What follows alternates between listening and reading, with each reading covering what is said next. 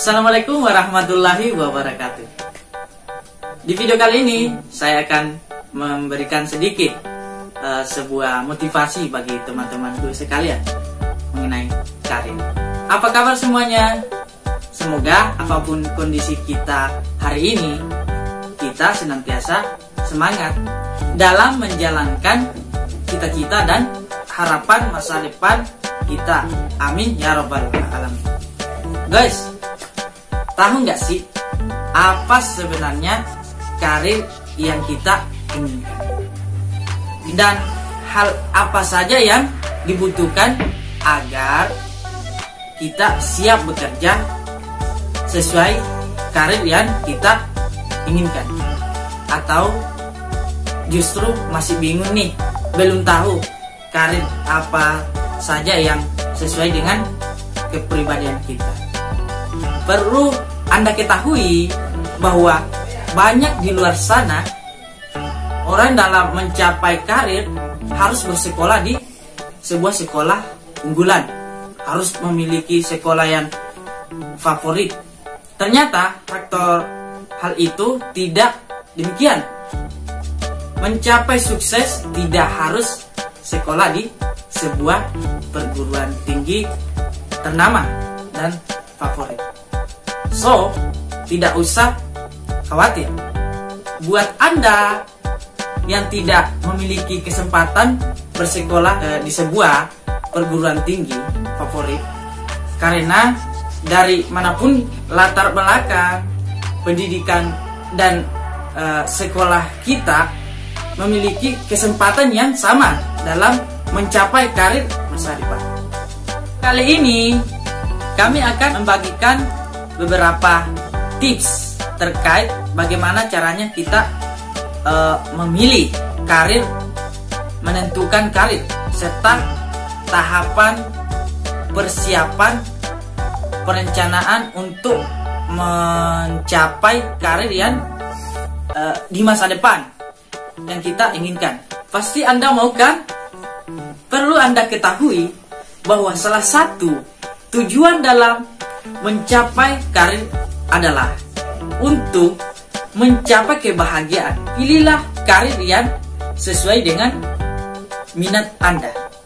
Karena sebuah penelitian menyatakan separuh waktu yang dihabiskan dalam hidup Anda adalah waktu dalam menempuh kebahagiaan karir kehidupan yang real. Jangan sia-siakan waktunya. Artinya, kita berangkat dari ketidaktahuan. Bingung bagaimana caranya memulai dan langkah apa yang harus dilakukan. Yuk, sekarang kita pahami tahapan apa saja dan mulai dari mana proses dalam mencapai karir. Sangat simpel dan sederhana hanya terdapat empat tahapan saja. Yang pertama, tuliskan apa keunikan Anda yang tidak dimiliki orang lain, seperti fisik atau kepribadian. Berapa profesi membutuhkan keunikan? Misalnya, postur tubuh, fashion, dan keterampilan tertentu yang Anda miliki. Tuliskan daftar minat Anda. Tuliskan daftar minat Anda. Pekerjaan yang Anda sukai dan tidak mudah lelah dalam pekerjaan tersebut. Kenali bakat yang Anda miliki. Misalnya, kemampuan menyanyi, melukis, uh, berhitung, atau yang Anda sukai lebih mendalam terhadap diri Anda. Contohnya, Anda pembicara yang sering kali di depan teman-teman Anda atau keluarga Anda. Nah, maka kenali di sini poster-poster yang Anda uh, bicarakan terhadap uh, lawan bicara Anda. Nah, dan tersebut Anda akan lebih dapat mampu memahami hal yang uh, mencapai karir Anda. Tahapan yang kedua Tentukan impian Anda Ingat ya, jangan mimpi di siang bolong. Karena itu no action. Pilih dan tentukan profesi yang sesuai dengan kemampuan yang Anda miliki. Pada tahapan pertama ini, Anda harus mencari apa yang Anda inginkan. Profesi apa yang cocok untuk diri Anda. Nah, misalnya Anda ingin menjadi kepala sekolah atau guru yang diminati oleh siswa-siswa atau menjadi uh, bupati, presiden, atau selebihnya cenderung ke ekonomi. Artinya ekonomi ini seperti Anda menjadi seorang insinyur atau pebisnis dan lain-lain sebagainya. Pada tahap ketiga, bekali diri Anda dengan keahlian yang dapat menunjang profesi atau karir Anda. Cari mentor yang dapat membimbing karir Anda karena setiap profesi harus memiliki mentor atau guru. Kuasai juga media, misalnya kemampuan mengoperasikan jaringan media internet, kemampuan retorika, kemampuan manajerial, kemampuan marketing, dan lain sebagainya yang dapat mendukung karir Anda semakin baik. Lanjut ke bagian tahap keempat.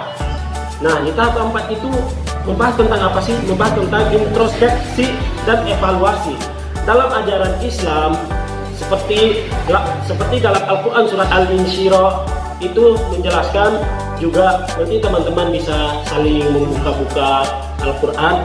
Di sini juga menjelaskan tiga hal yaitu yang pertama bersyukur kepada Allah Subhanahu wa taala. Nah, kenapa kita harus bersyukur kepada Allah? Karena kita hidup ini diatur oleh Allah Subhanahu wa taala dan kita harus berterima kasih kepada semua orang yang telah berjasa atas semua pencapaian karir kita ke depannya baik dari awal sampai ke depannya lagi.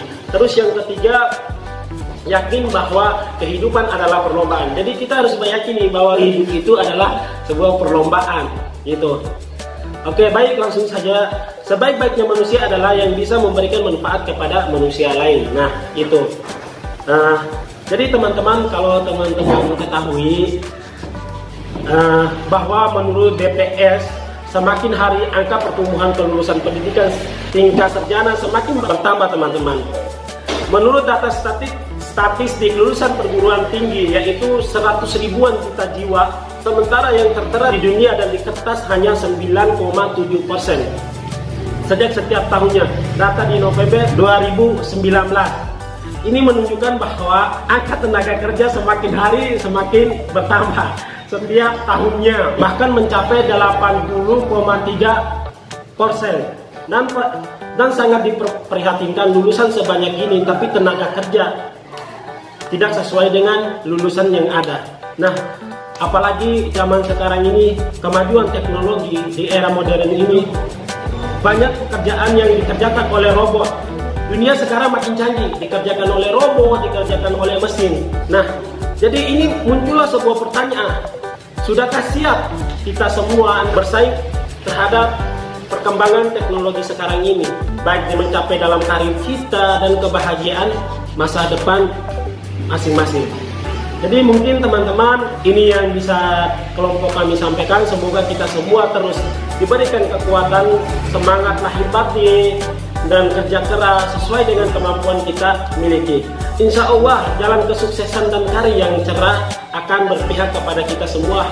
Yakin dan berusaha dan dengan maksimal melalui jalan yang benar. Oke teman-teman, mungkin cukup sekian dari penyampaian konsep mencapai karir di masa depan. Anda siap maka Anda menang. Capailah hasil dengan maksimal sebab Anda yang hebat adalah pilihan yang kuat. Maka capailah karir Anda dengan cara yang objek dan sempurna.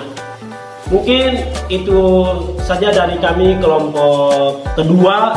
Kurang lebihnya kami mohon maaf. Bila taufiq hidayah. Assalamualaikum warahmatullahi wabarakatuh. Terima kasih.